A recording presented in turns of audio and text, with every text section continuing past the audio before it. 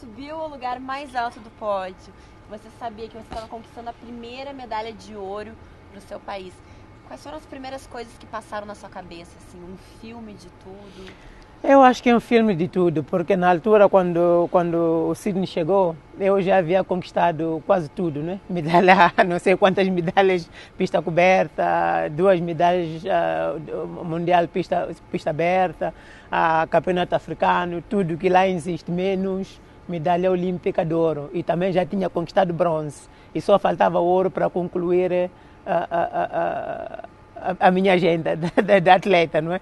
E assim ah, foi, foi, me senti mais completa, para bem dizer, porque é o que faltava na minha carreira para conquistar. E eu achei dali, se eu reformar um dia, ah, acho que reformarei com uma cabeça bem alta.